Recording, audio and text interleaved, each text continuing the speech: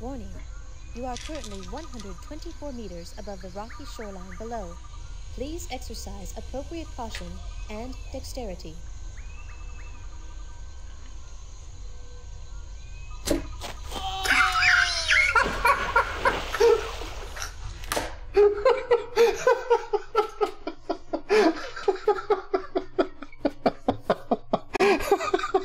I should have paid attention to the AI warning.